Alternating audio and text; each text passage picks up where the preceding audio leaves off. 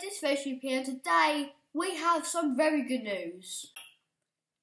And that news is that Fred Onyedinma has finally signed a contract. After waiting weeks and weeks for this to happen, it has finally happened. I believe Fred has signed a three-year contract with the club.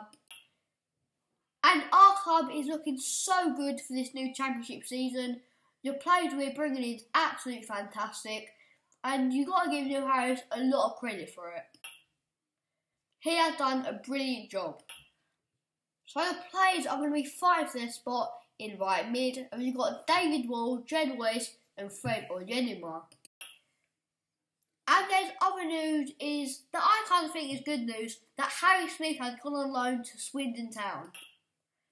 And personally, I don't think Smith will get that much game time in the championship as we've got so much players fighting for that spot. And I just don't think Harry Smith is capable of banging the goals in the championship. And Harry Smith has quoted, I am very excited to join the club. I want to be a part of promotion and hopefully I can bring some goals to the team. But anyway guys, that's going to be the end for this video. I hope you guys enjoyed it. Smash like if you liked it. And come on you Lions!